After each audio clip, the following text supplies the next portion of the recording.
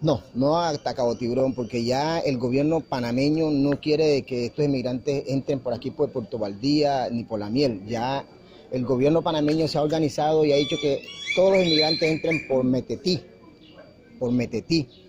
¿Cuál es el sufrimiento que padecen estos señores? Bueno, en estos momentos, ah, como usted puede mirar aquí en Capurganá, hay unos cerros y en ese cerro hay más de 20 caminos, de 20 rutas por donde meten estos inmigrantes eh, de una forma inhumana, en la noche, en el día, a cualquier hora. ¿Por qué? Porque no tenemos una ruta establecida. Esta gente sufre, se muere. No se mueren, no, no es porque las asesinan, se mueren por falta de hidratación, se mueren por falta de comida, se, se mueren por falta de orientación, porque imagínense, perdió una selva donde no haya una vía que los conduzca al sitio donde ellos van, que ha determinado el gobierno panameño, que es Metetí. Ese es el sufrimiento, porque no hay quien los ayude, no hay quien los guíe. No, la solución la tenemos en las manos, hacerle su vía, hacerle una vía desde Capurganá, que pase por las comunidades de Palenque, que llegue al río Muerto y del río Muerto río arriba, que eso, eso los conduce hasta eh, límites con Colombia y Panamá y llegan a la comarca Cunayala, que ahí queda, eh, eh, no sé cómo le dicen ellos allá, si es corregimiento, municipio que es Metetí, que es en el Darién colombiano, en el Darién panameño. Bueno, me duele decir lo que voy a decir. Lo digo porque yo vivo en la selva, yo vivo allá en el tapón del Darién, donde no hay hotel, donde no hay hostal, donde no hay restaurante.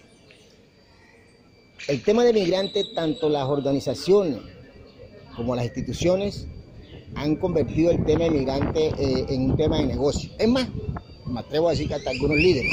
¿Por qué?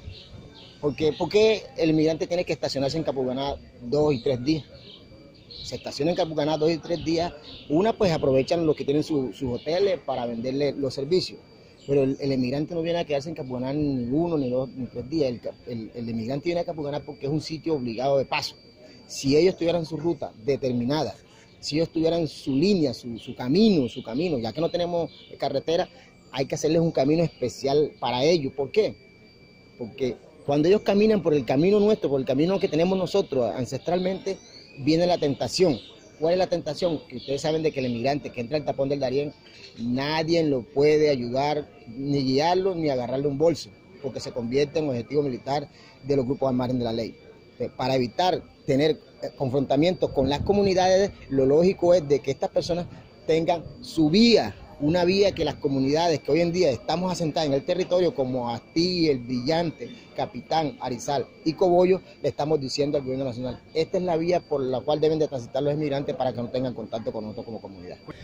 Bueno, en, ciertos momentos, miren cómo me erizo, no como Amparo Isai, sino que, eh, como dicen los que van al carnaval de Barranquilla, quien lo vive es quien lo goza.